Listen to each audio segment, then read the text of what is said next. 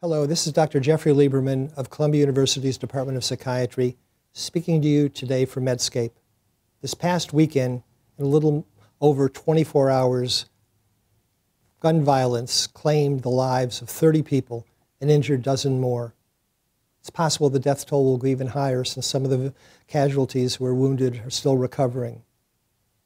Almost as tragic as the incidents themselves is the fact that mass shootings have become a routine part of life in America. It no longer feels unusual to turn on the news and see the mugshot of another angry young man who has committed another act of violence, targeting multiple innocent victims, leaving behind nothing but an angry manifesto, a trail of dead and wounded bodies, and a host of unanswered questions. In the aftermath of these incidents, an all too familiar scenario unfolds. The media and the public erupts in outrage and emits cries of never again. But after the chest thumping dies down, the soul searching begins. And then the requisite question of why. Why could this happen? How could this happen? Now, politicians and pundits solemnly weigh in with their sanctimonious platitudes and eventually, the argument devolves into the familiar refrain of name calling and partisan bickering, which leads to no consensus being reached and nothing being done to prevent these things from happening in the future. In this political theater, mental illness too often becomes the convenient scapegoat.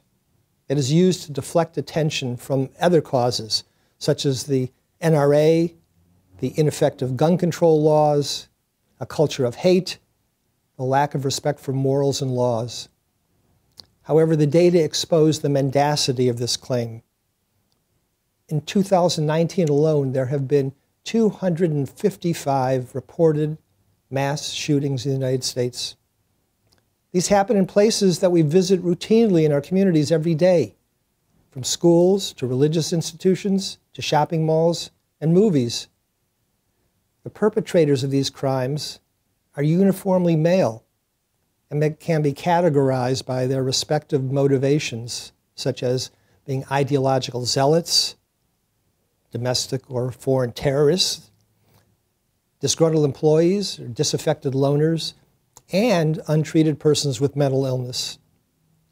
But a recent white paper by an expert group of uh, people from disciplines such as mental health care, law enforcement, uh, education, that was commissioned by the National Council on Behavioral Health found that approximately a quarter, 25% of these crimes were perpetrated by individuals with mental illness and impelled by their symptoms, which were not adequately treated.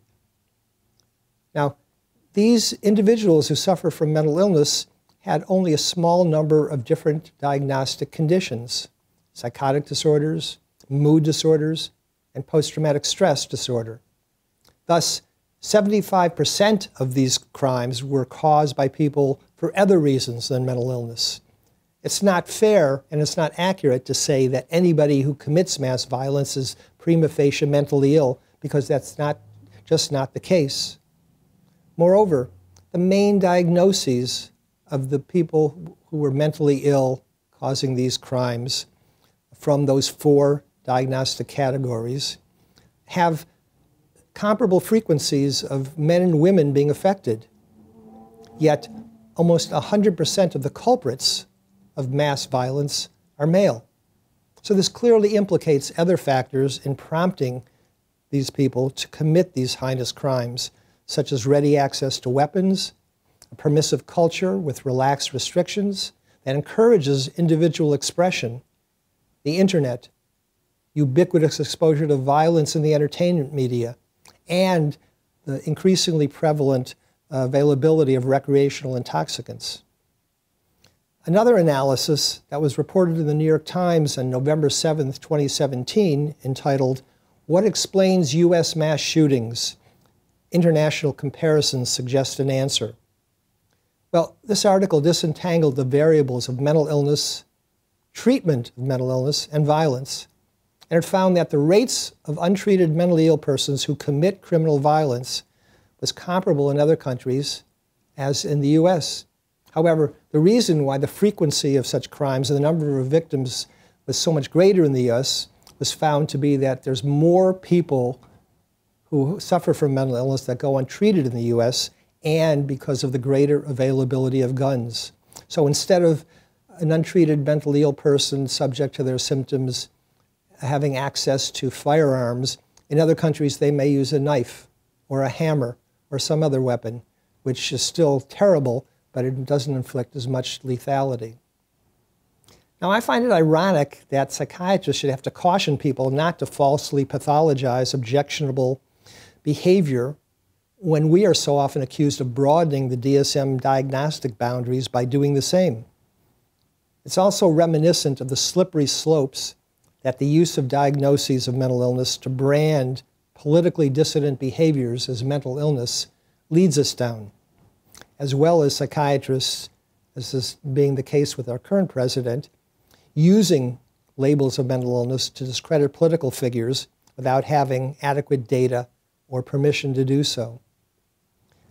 In this country, we pay a price for our cultural openness and individual freedoms of belief and expression. That enables us to be the world's engine of, crea- of creativity and innovation.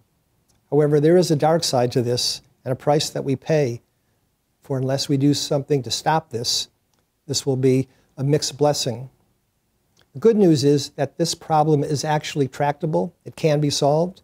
The bad news is that it requires a policy and legislation driven solution, and therein lies the rub. Because the obstacle in this case is the partisan political stalemate that exists in our federal government. If we're to seriously address mass violence in our country, then we need to stop using mental health as bad faith arguments to prevent us from finding real solutions to this problem. There are over 50 million people in the United States with a mental illness. They deserve compassion and care, not vilification and being turned into scapegoats to serve a political agenda of expedience. Thank you for listening. This is Dr. Jeffrey Lieberman of Columbia University's Department of Psychiatry speaking to you today from Medscape.